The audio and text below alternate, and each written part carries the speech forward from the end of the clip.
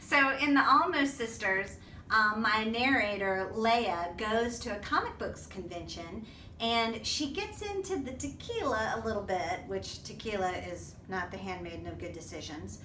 And at the hotel bar, she meets a very attractive, tall African American guy dressed up as Batman. And after a few too many shots, she's usually a very level-headed person, but uh, I said the tequila's bad. And she um, she sort of takes him by the utility belt and takes him on up to her room. And it's not something I can imagine myself doing, but if I were to, it would not be Batman. It would be one of the Guardians of the Galaxy. I'm not even really picky about which one. I would even, maybe even Groot. I don't know.